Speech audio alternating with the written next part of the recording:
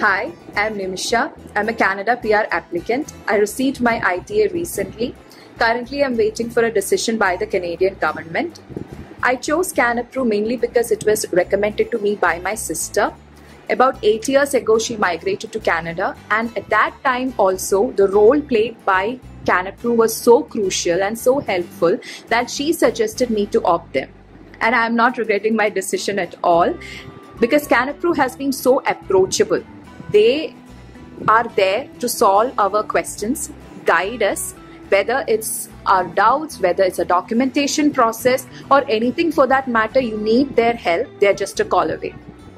So that made the whole process very easy for me, and I'm forever grateful for that.